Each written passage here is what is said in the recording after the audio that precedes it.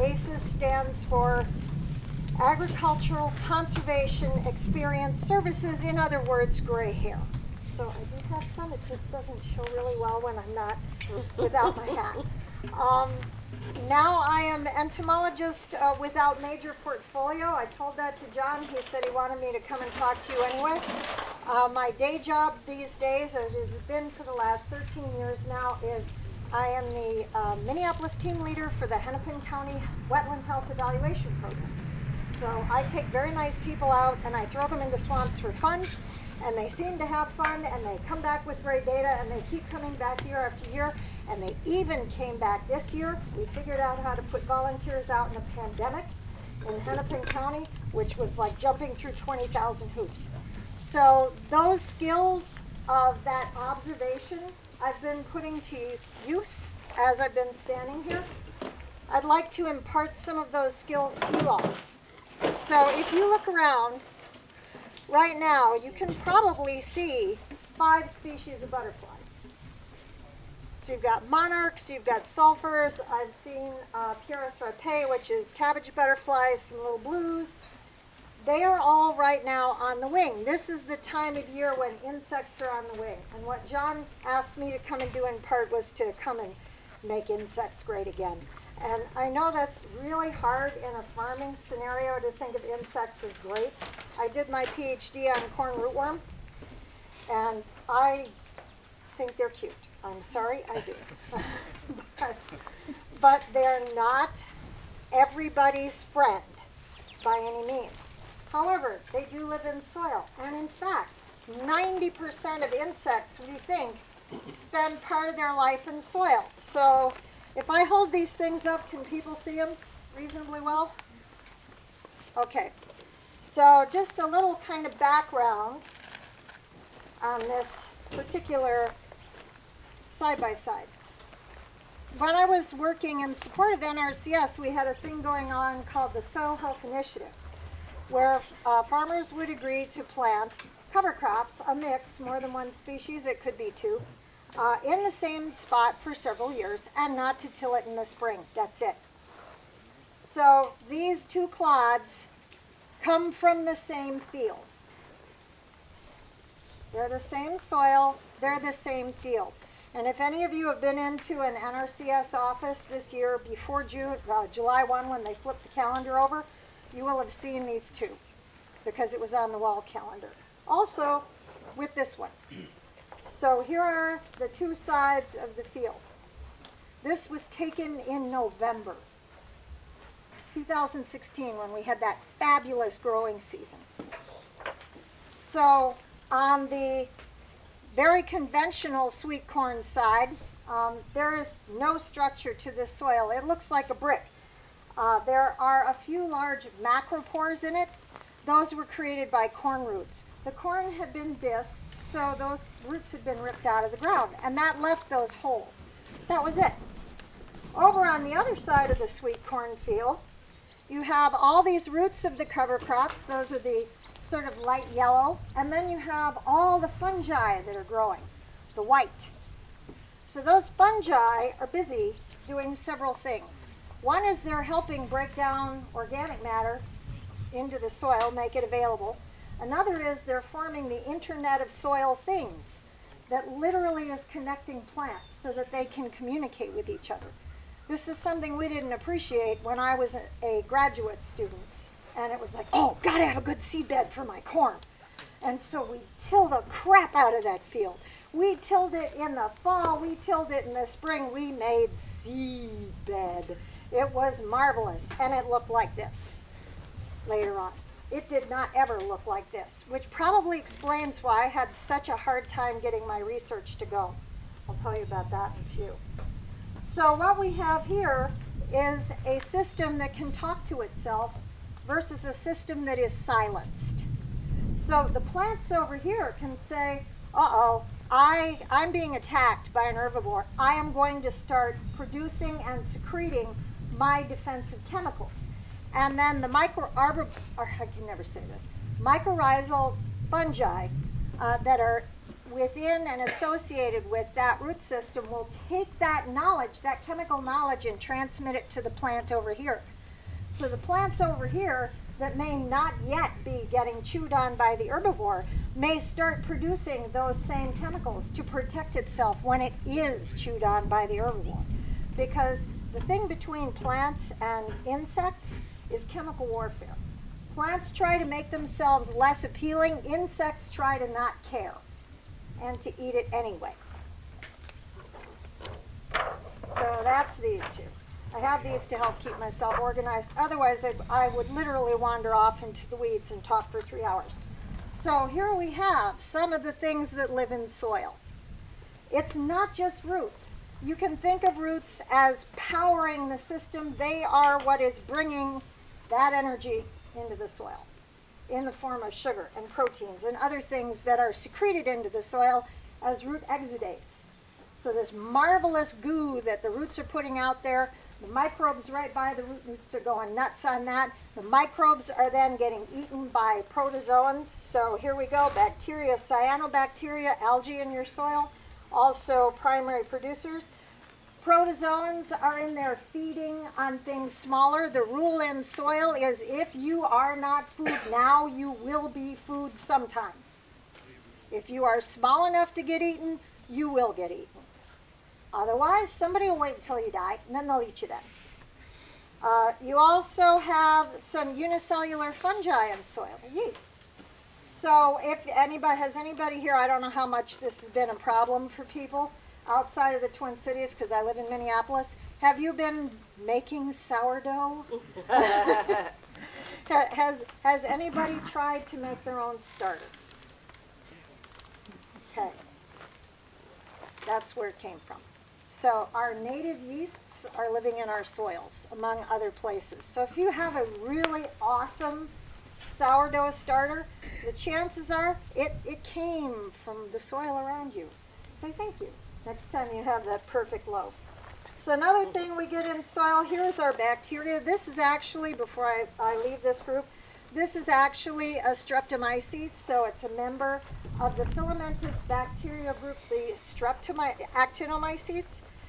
They produce geosmin. Geosmin is the soil smell, the perfect, healthy soil smell. They produce it because they're trying to kill other bacteria with it for you, for us, it's wonderful. We can detect that at five parts per trillion. So we are like better than dogs at smelling that one thing. I always thought that was interesting. It means it's important to us as a species to be able to detect healthy, vibrant soil where there may be good plants for us to eat because we got started as hunter gatherers. So here's the next group. We go into invertebrates, and this is what my specialty is is invertebrates. So here we have a picture of a nematode, but that nematode is having a very bad day. It has been caught by a nematode trapping fungus.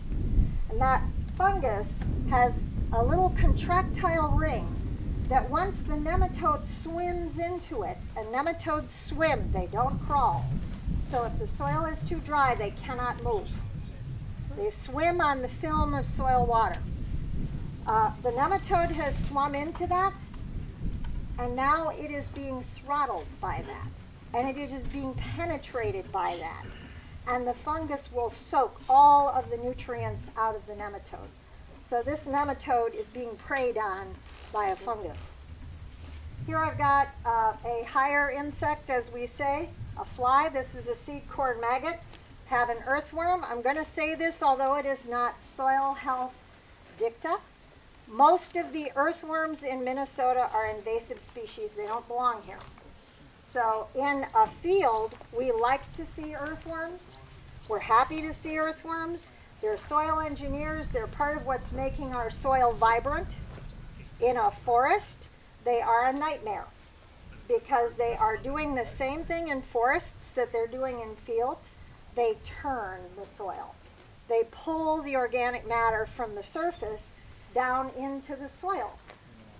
Our trees did not evolve without that layer, that protective layer of leaf uh, or needle, the duff. That's where their seeds drop into. So if their seeds drop onto bare ground, they may not germinate well. So I can say that earthworms are good right over here, but right over there I may not want them because they're doing something different in the ecosystem there. This is a click beetle. So you may know it better as a wireworm. Uh, its larva is a pest. Its adult is not. Here we have a predatory mite. There are also shredder mites.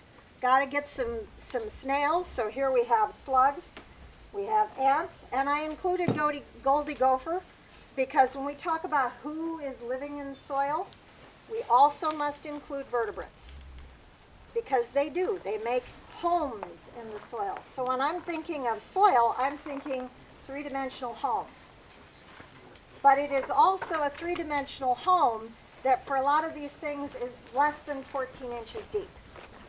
So if I were to take a spoon and get a teaspoon of soil from this field, which looks reasonably good even though we're all standing on it, um, I might and send it off to lab and say, please sequence this for me. And they would just sequence the DNA and they would probably focus on the ribosomal DNA or RNA rather. Um, the ribosomes are the parts of every cell that are responsible for clunking proteins together, one amino acid at a time we know from studying their structure about how many different species might be in any given environment. In a really healthy soil, one teaspoon, that's one gram, may have 10 billion organisms in it. Most of them will be bacteria. They might represent 11,000 species. Do we know what they're all doing? No. We do we know who they all are? No because we don't know how to separate them and culture them and study them individually well enough to learn all that. Can we say they're all there? Yes. But that's about as far as it goes at the moment. So when people are talking about microbial respiration, they're talking about a community whose members are not identified. So when you think about the soil, you've got this whole huge community of life that if you wanted to, you couldn't say thank you to individually because you don't know all their names. You don't know which one is needed to do what job. So it's a big black box that way. You can measure in part the job that they are all together doing. And that's about as far as our current knowledge will allow us to go. So focusing on bigger things, because bigger things you can see with your bare eye. When we talk about soil health, maximize diversity. More plants, healthier soil, more invertebrates, specifically insects. I took these three pictures at the Menoken Farm in North Dakota. Wonderful place if you ever get a chance to visit it. So here you had flax growing with several other things, including cover crops. This is a cowslip. And here we have a, uh, a mustard being pollinated. Now, a couple things to note. Ecosystem service being shown here. Lady beetles, lots of them. This is six inches of height on a plant. There are two adult beetles there. A lady beetle is one of the hungriest things on the planet for aphids. A lady beetle's larvae are aphid destroyers. They will literally go along, pick one up, suck it dry, toss it, pick one up, suck it dry, toss it. They hardly even bother to chew. They just walk along a leaf and they make a little line of death and destruction behind themselves. And then they poop out aphid parts, and that's pre-digested, so it's ready to go back into the soil and, and be nutrients again. So the more flowers, the more plants, the more different exudates are going down into the soil in any given system, the more predators you're likely to have. And our predators, our insect predators, are in real trouble these days. When I got here, I looked at my windshield and I looked at my front bumper and they were clean. I drove up from the Twin Cities. It's enough of a drive I'd expect there to be something on there. Couple of weeks ago, my husband and our youngest son were up in the boundary waters for a week canoeing. That's a long drive coming back. One insect. on the car. One insect. How many people can remember driving in the summer and having to wash the car after a long drive? Or having to, to stop because your windshield was getting so gross and you had to clean it off. Does anybody remember that? Because I sure do. That doesn't happen much anymore. Those large flying insects that we are used to, dragonflies, butterflies, all these sorts of things, are in deep trouble. They're in deep trouble in part because of climate change, but they're also in trouble because we've been taking their habitat away. They need this stuff. They don't just live on the insect they happen to eat at that moment. They live in a complex habitat. So here, you can't really see them well. You've got the cow flop. On the cow flop are two different kinds of insects, a fly and a dung beetle. Both of them are doing something that's really important for soil. They are laying eggs. They're going to lay eggs in that cow flop the dung beetle, some species will lay eggs right in the cow flop. Others will make a ball, roll it underground, and lay their eggs there. The maggots and the beetle larvae will eat the poo. Not my idea of great food, but is theirs. And then they will make more poo. So you now have twice digested plants, super available nutrients, provided to and into the soil by these insects. So they are part of that nutrient cycling system, and a, a bigger part than I think we understand. And then we have pollination. So when I'm looking at the things that are flitting right now, some of them are laying eggs, which means they are making little tiny herbivores for next year. Now you might look at that and say, no, I don't want that but that's just part of the system. Those little tiny herbivores are going to feed the predators that are going to control the bigger insects that you don't want to see. It's a matter of who eats who when. The other thing that they're doing is they're pollinating. Because at this time of year, when you have the most flying insects, is also when you have the most plants flowering. That's a there's a reason for that. They're connected. So the more insects we have on the wing, the better pollination services we get. So I said earlier that about 90% of insects spend their life, part of it, in soil. In this part of the world, that's usually going to be a resting stage, the winter. So you can overwinter as an egg in the soil. You can overwinter in some cases as an early larva, in other cases as a pupa. But you're going to be waiting, you're not eating then, because there's nothing to eat in the winter. So if we disturb the soil in the fall, for instance, with fall tillage, you might think, Hmm, okay, I'm going to till that cornfield where I had problems this year with rootworms, and that'll mess up the rootworm eggs.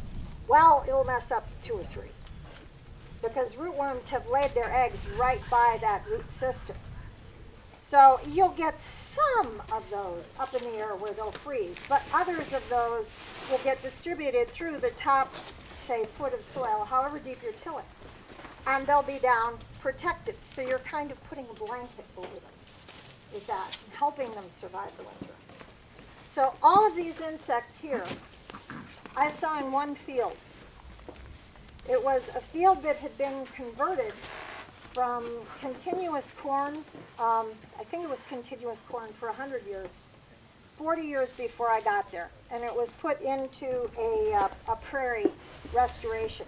This is up by Fergus Falls. And there were three fields that we sampled that day. This was one of them. It was the prairie restoration. Then we had a, a field that had been uh, converted two years earlier into a pasture. It was mainly red clover at that point, but there was also uh, some oats, some wheat, various grasses trying to grow in there. It was kind of a happy mix, but mainly red clover. And then there was the cornfield, which had been conventionally tilled for over a hundred years. The cornfield looked amazing. I mean, we were there in July. This was big, beautiful, green. I never had a research field look that good until I got into it. Then I had a different viewpoint of it. All of these are flying around in the pasture area or in the uh, restored prairie area.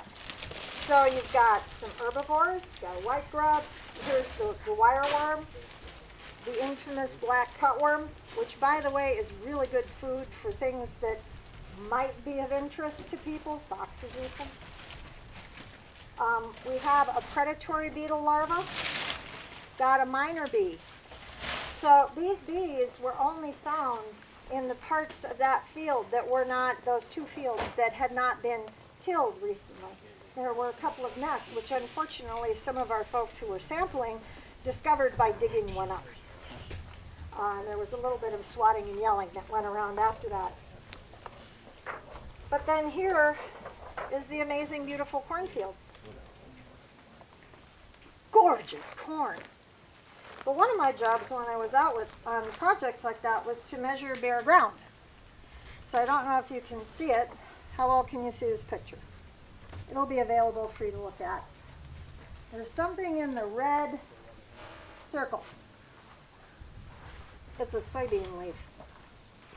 Now I was taking pictures of the cover, noticing that in the beautiful cornfield you had absolute destruction down the middle of the row. It was crusted, it was cracked, there wasn't anything growing there. There were a few areas that I looked at and thought herbicide failure over here, a few weeds coming up.